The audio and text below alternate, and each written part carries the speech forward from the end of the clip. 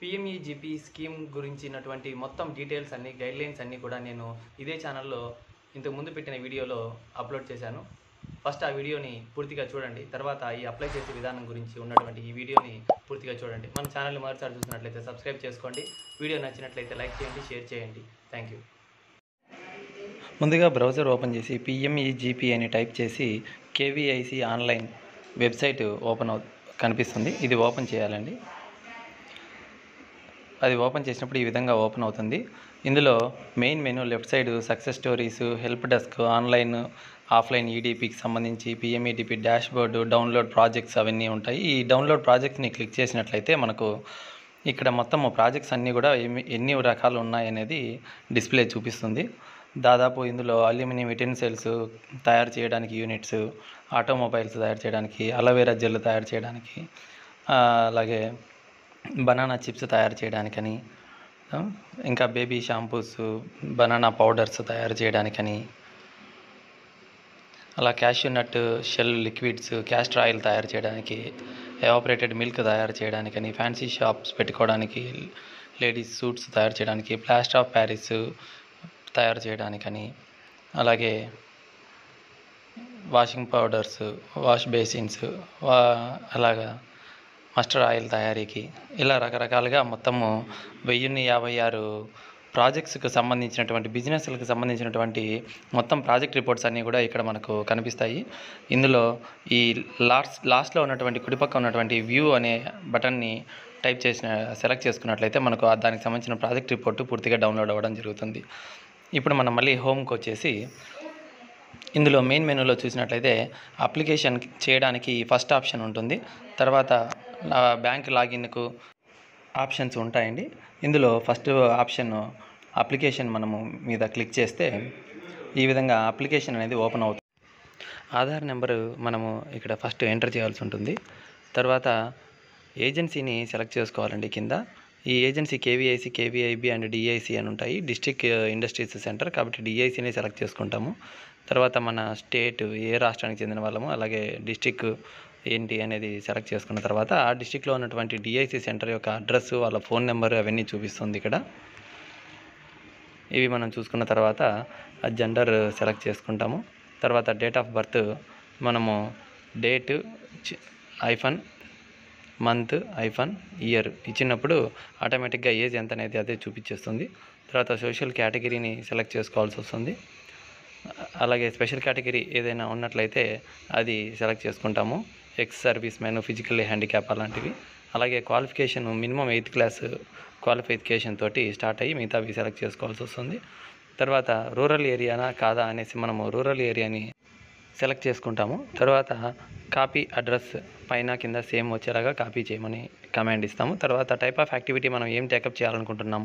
Manufacturing service సెక్టారా అనేది మనం select చేసుకొని తర్వాత ఆ ఇండస్ట్రీ ఏదనేది మనము సెలెక్ట్ చేసినట్లయితే దాంట్లో ఉన్నటువంటి ఇండస్ట్రీస్ ఆప్షన్స్ అన్నీ కూడా ఓపెన్ అవుతాయి. అందులో నేనైతే డైరీ అని ఒక ఎగ్జాంపుల్గా ఇచ్చాను.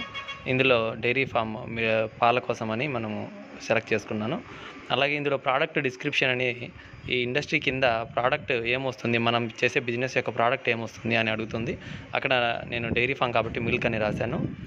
ఎగ్జాంపుల్గా తర్వాత ఐడిపి ట్రైనింగ్ అనేది అయ్యిందా లేదా అని అడుగుతుంది. నో అని సెలెక్ట్ చేసుకుంటాను. ప్రస్తుతానికి ఇంకా సెలెక్ట్ చేయలేదు కాబట్టి ఒకవేళ ఎస్ అని సెలెక్ట్ చేసుకుంటే అక్కడ ఎక్కడ ట్రైనింగ్ అయ్యింది అనేది మనం ఎంటర్ చేయవలసి ఉంటుంది. తర్వాత క్యాపిటల్ ఎక్స్పెండిచరు వర్కింగ్ క్యాపిటల్ వీటి గురించి ఇంతకుముందు వీడియోలో నేను మీకు ఎక్స్ప్లెయిన్ చేశాను. ఇక్కడ ఎగ్జాంపుల్ కోసమని ఏడు లక్షలు క్యాపిటల్ ఎక్స్పెండిచర్ ఏడు లక్షల వర్కింగ్ క్యాపిటల్గా ఎంట్రీ చేశాను. మొత్తం పద్నాలుగు లక్షలకు గాను అది చూపించింది. అలాగే పక్కన ఎంప్లాయ్మెంట్ ప్రతి ప్రాజెక్టులోనూ మనము ఎంప్లాయ్మెంట్గా ఎవరినైనా లేబర్ని పెట్టుకుంటాం కాబట్టి అది ఎంతమందిని అనేది చూపిస్తుంది.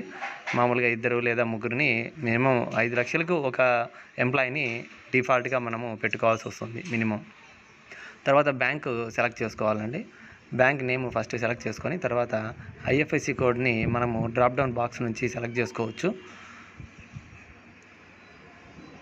ఈ విధంగా బ్యాంక్ డీటెయిల్స్ అనేవి ఓపెన్ అవుతాయి ఐఎఫ్ఎస్సి కోడ్కి సంబంధించిన డీటెయిల్స్. ఇక్కడ మనము ఈ సెకండ్ ఆప్షన్లో ఐఎఫ్ఎస్సి కోడ్ అనేది మనము మన బ్యాంక్ ఏదైతే ఉంటుందో ఆ బ్యాంక్ యొక్క డి ఐఎఫ్ఎస్సి కోడ్ని ఎంటర్ చేయాలి.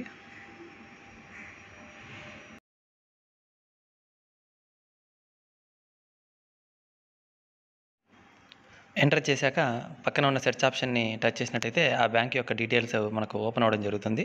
వాటిని మనం ఇక్కడ సెలెక్ట్ ఆప్షన్లోంచి ఆ బ్యాంక్ని సెలెక్ట్ చేసుకుంటే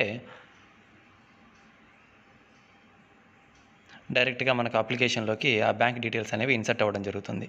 తర్వాత ఇక్కడ మళ్ళీ second bank alternate bank details అడుగుతుంది. చూపించాల్సిన అవసరం లేదు. తర్వాత ఆ కింద సీజీటీఎంఎస్ఈ అని అంటుంది. అంటే క్రెడిట్ గ్యారంటీ ఫండ్ ట్రాన్స్ఫర్కి సంబంధించింది. దానిని మనము ఓకే అని సెలెక్ట్ చేసుకోవచ్చు.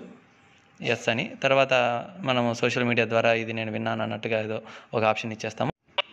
సేవ్ అప్లికేషన్ అని ప్రెస్ చేసినట్లయితే మనకి ఈ విధంగా అప్లికేషన్ ఐడిను మరియు పాస్వర్డ్ జనరేట్ అవ్వడం జరుగుతుంది. దీని కింద ప్రొసీడ్ అనే బటన్ ఉంటుంది. ఆ ప్రొసీడ్ని మనం సెలెక్ట్ చేసుకున్నట్లయితే నెక్స్ట్ పేజ్ మనకు ఈ విధంగా ఓపెన్ అవుతుంది. ఇందులో ఫస్ట్ చూసినట్టయితే మెనూ బార్లో అప్లికేషన్ డేటా ఉంటుంది. తర్వాత ఈ మనము డీటెయిల్స్ ఇచ్చిన వాటిన్నిటి యొక్క మొత్తం చూపిస్తుంది. వీటన్నిటికీ సంబంధించి అప్లోడ్స్ కూడా అడుగుతుంది. కానీ చేయకపోయినా కూడా ఇబ్బంది ఏం లేదు. మనకు అప్లోడ్ తీసేసుకుంటుంది. ఇక్కడ కూడా లాస్ట్లో టిక్ పెట్టి సేవ్ బటన్ ప్రెస్ చేయాలి. ఇప్పుడు మనకు స్కోర్ కార్డ్ అనేది జనరేట్ అయింది. ఇందులో సెవెంటీ సెవెన్ అనే నాకు స్కోర్ చూపిస్తుంది. మినిమం ఫిఫ్టీ స్కోర్ అబవ్ ఉంటేనే మనకు ప్రాజెక్ట్స్ అనేవి అప్రూవ్ అయ్యేదానికి అవకాశం ఉంటుంది. తర్వాత అప్లోడ్ అనే ఆప్షన్ ఉంటుంది. ఇందులో మొత్తము ఫైవ్ అప్లోడ్స్ చేయాల్సి ఉంటుంది మనము. పాస్పోర్ట్ సైజ్ ఫోటో ఒకటి ప్రాజెక్ట్ ప్రొఫైల్ ఒకటి Aadhaar card rural area certificate దగ్గర కూడా ఆధార్ కార్డ్ అప్లై చేసి అప్లోడ్ చేయొచ్చు. తర్వాత ఫైనల్ సబ్మిషన్ అనేది సెలెక్ట్ చేసుకున్నట్లయితే మనకు ఈ విధంగా చూపిస్తుంది. యాక్చువల్లీ నాకు ఇంకా ఫైనల్ సబ్మిషన్ చేయలేదు నేను. ఇక్కడ ఈడీపీ ట్రైనింగ్ అనేది పెండింగ్ అని చూపిస్తుంది.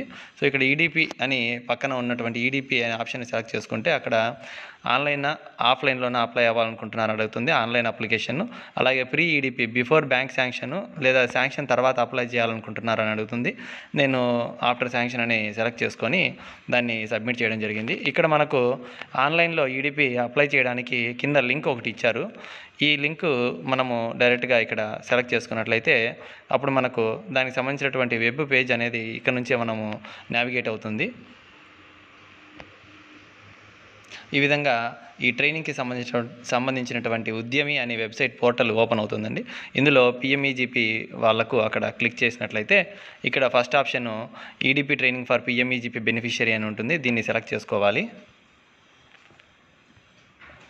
అప్పుడు మనకు ఫైవ్ డేసా టెన్ డేసా అని చూపిస్తుంది. నేను ఇంతకుముందు వీడియోలో చెప్పినట్లుగా ఐదు లక్షల లోపు అయితే ఐదు రోజులు ఐదు లక్షల పైన ఉన్నట్లయితే మన business value ten days training అనేది మనము సెలెక్ట్ చేసుకుంటాము ఎన్రోల్ చేసుకుంటాము.